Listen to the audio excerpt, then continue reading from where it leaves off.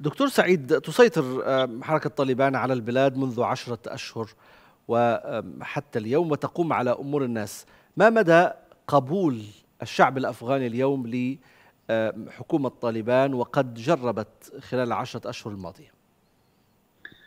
حقيقة يعني الشعب الأفغاني بشكل عام إنهم يعني يقدرون جهود الحكومة الأفغانية الجديده خاصة في مجال الامني حيث تتمتع حاليا أفغانستان في كافة المناطق بشكل واضح تشاهد أفغانستان وتمتع بالأجواء الأمنية التي ما شاهدناها خلال الأيام الاحتلال الأجنبي على أفغانستان.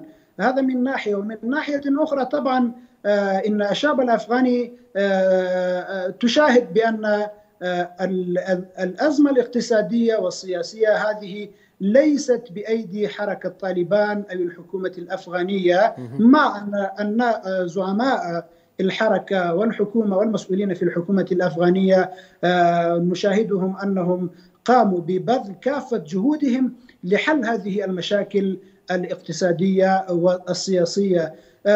بإمكاننا أن نقول أن الشعب الأفغاني بشكل عام إنهم موافقون مع جهود الحكومة خلال عشرة أشهر. ولكن طبعا يعني هناك شرذمة قليلة الذين متأثرين بالأفكار العلمانية. والذين لا يريدون الحكم بأيدي علماء نعم.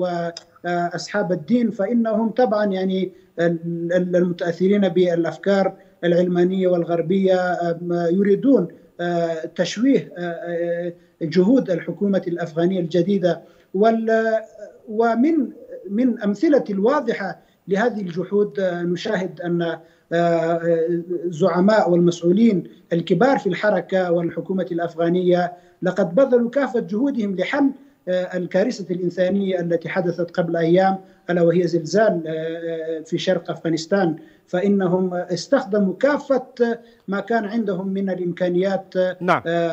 على الميدان العسكري نعم دكتور سعيد. الصحي. نعم دكتور سعيد. اذا